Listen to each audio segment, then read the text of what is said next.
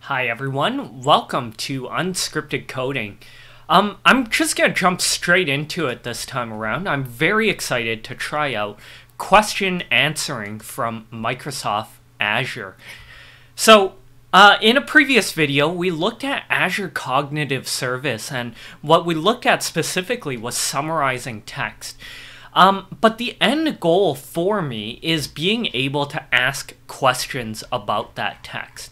Uh, it's a really challenging problem to have if you are trying to build your own AI, but uh, seemingly Microsoft has decided to package this up and and make it available through an API or through their SDK.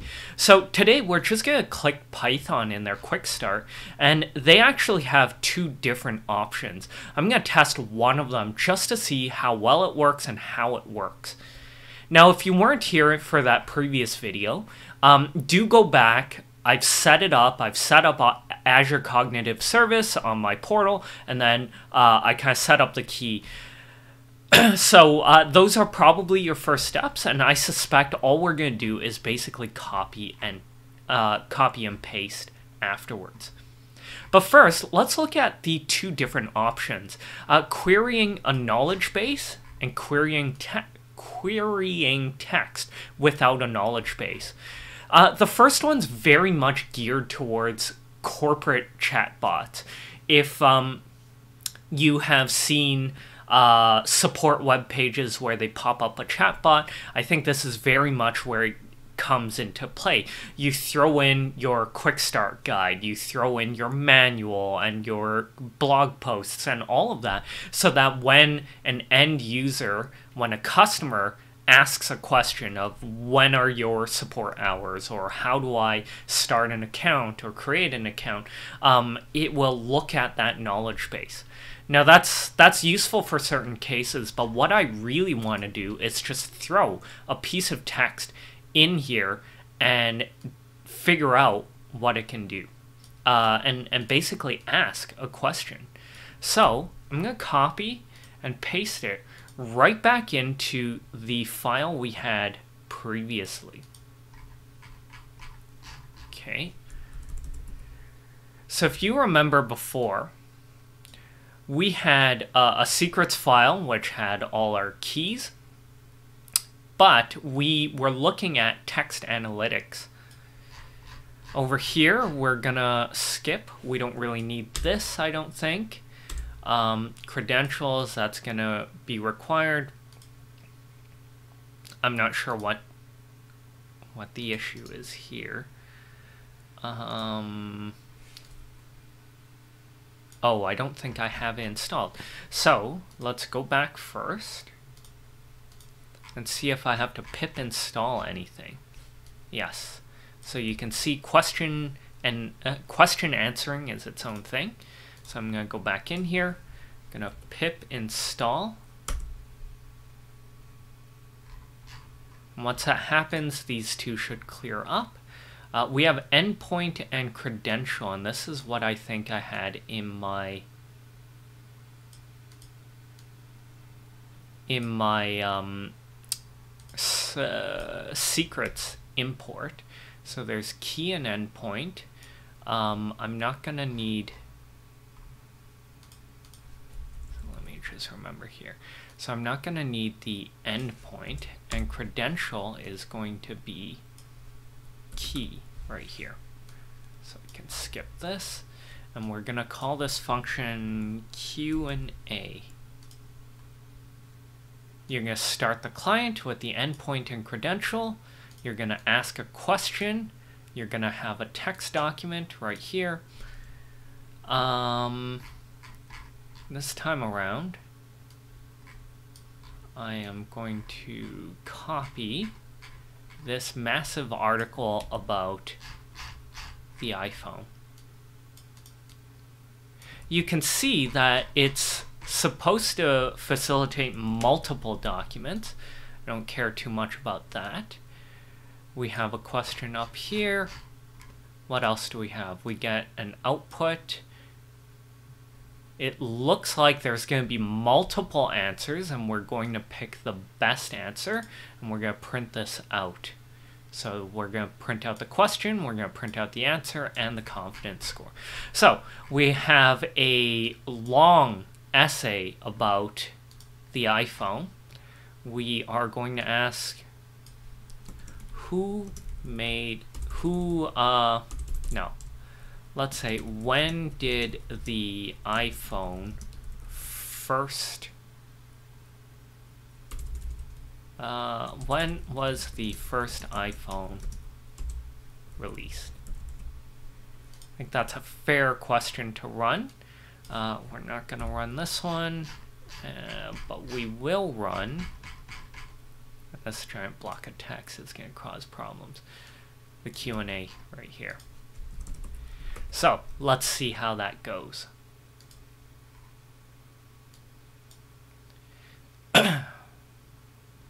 okay, so function object has no attribute answers from text options.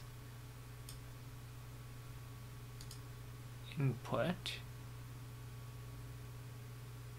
Oh, oh, I'm sorry, I picked a bad one. Question and you know what let's let's just call it quest. I think i picked a bad name. Q&a clashed with my function. So we're gonna rerun this see where we go. Here we go. So they have a confidence score of 97 uh, percent. That's pretty good um, when was the first iPhone released? Jobs unveiled the first generation of iPhone to the public on January 9, 2007 at Macworld, blah, blah, blah. Uh, goes into probably more detail than I need, but it does answer the question. Does go straight to, um, straight to the end here. Uh, let's let's pick one. All models featured the Smart HDR computational photography system and a significantly more powerful neural engine. Um, okay, let's go which iPhone came with a 6.5 inch screen. Uh, sorry. This is from my sampling, or my summarizing, so we're going to come here. Uh, which iPhone first included a 6.5 let's use it like this inch screen? Uh, so we're going to use this inch just slightly different. We're going to use include instead of featured just to throw a bit of diversity in there and see because you don't always ask the question exactly how it's written. So we're going to start debugging. Try this one more time. Uh, so it looks like we got no answers that are above 0.9. So I'm going to lower this threshold drastically just to see. 0.3,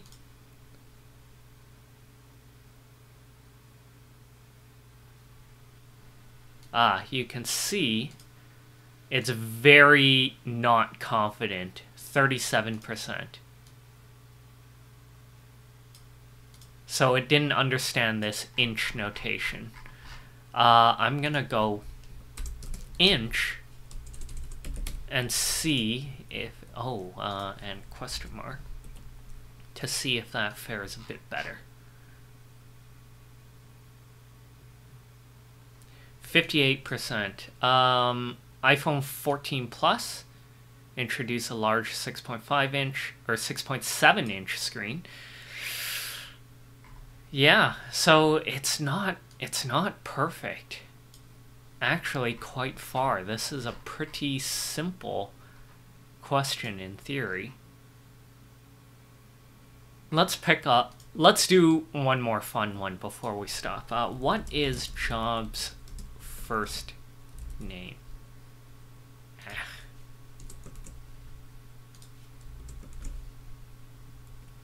Okay, and run this.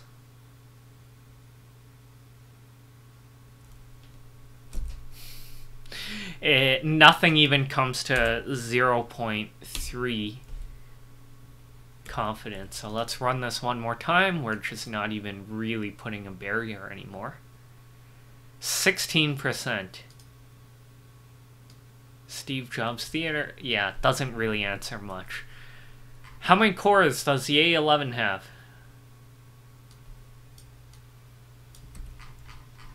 One last one. I'm I'm enjoying this too much. Um,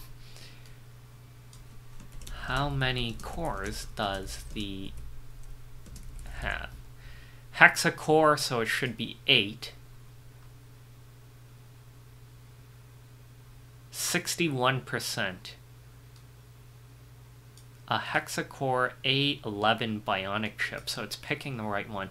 And I'm noticing it's not really answering the question. It's just going straight to the most relevant section. It's just telling you where to find the answer. So, um, again, I I talk about myself a little bit in these videos. I am very interested in seeing when this is good enough so that I can throw contracts in here and ask about specific questions. You know, when is the start date? When is the end date? Where is the jurisdiction? And I know there are uh, lots of AI tools that are already geared to that, but what if I ask more specific questions? Um, and in short, this is far from good enough. This is a Wikipedia article answer uh, text, and even then, it's having trouble picking out the answers. So, not great, but this was really quick to build and fun to play around with. So hopefully, Azure and Microsoft makes this better and better over time, um, so that I can build on top of it. Anyways, we're gonna keep playing with the, uh, these AI tools in the coming weeks and months. I think there's a lot to do just running through uh, Azure moving forward. So uh, look forward to more of these videos, and I will see you next week. Thanks for watching.